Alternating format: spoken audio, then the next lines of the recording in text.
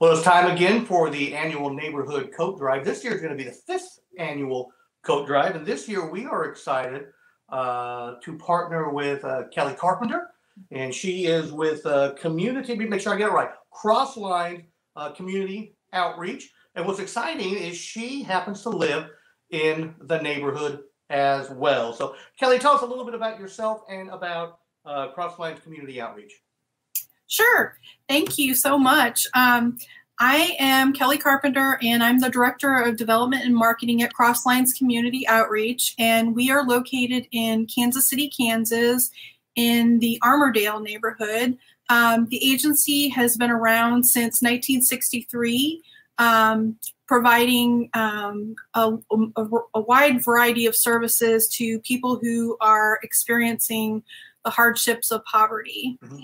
Kelley, and I think that's uh, what the neighbors who donate the coats, you know, really uh, like about uh, participating in this is because they know that the coats are going to Kansas Citians in need. Um, can you tell us uh, what your typical, do you call it a client? I don't know, what your typical person or family is that you guys help out?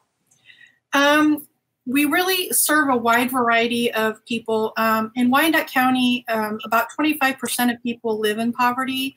So it can be everything from someone who has a job and just doesn't have enough to make ends meet. Um, they're working multiple jobs um, and need some assistance um, to to um, manage their finances.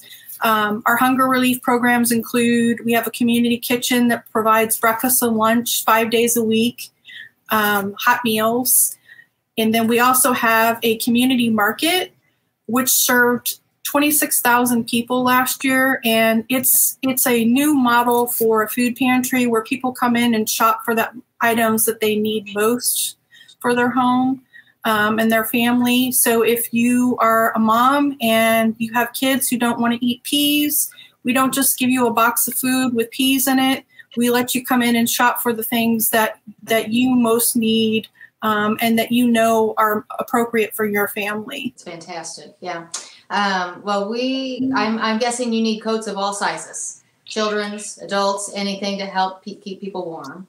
Absolutely, absolutely, um, most definitely. We have a lot of families who come to us for help from our clothing closet. Uh, I would say more than anything, adult coats are what's most needed. Um, and so, but like I said, we serve a lot of families as well. So any coats are very much appreciated. And during these cold times, it's it's really important. Another service that we provide, we actually have a warming center. Oh. Um, so we can provide coats to people who come that, to Cross-Lines to keep warm during the day. Right.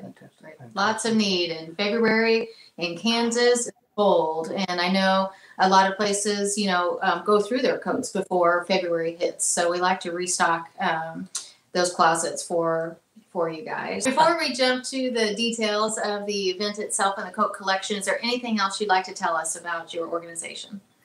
Yes, I would love to let people know that there are, if you're wanting to help, there are a whole lot of different volunteer opportunities available through our organization. Whether you would like to come down and help prepare a meal and serve, we serve meals to go. If you're interested in, in distributing meals, um, we need people to help out in our community market that I mentioned earlier.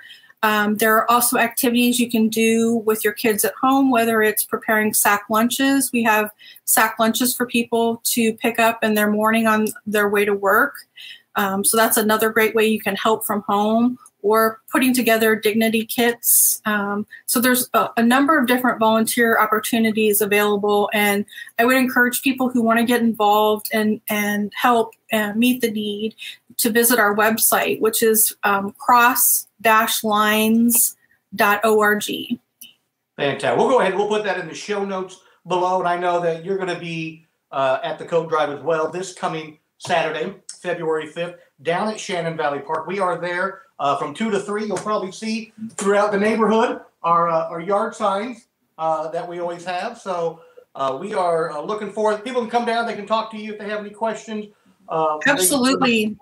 With any questions as well. So we are really excited that we're able to partner with you. You're going to have your big truck down there. I we are. Last year we had a whole lot of coats. We had to get some uh, additional uh, pickup trucks uh, and some minivans. We're glad that uh, to be able to partner with you, and uh, we look forward to seeing you uh, this Saturday down at. I look forward to being there, and I thank you both for what you're doing for the community. It's very much appreciated. All right, thank you. Absolutely.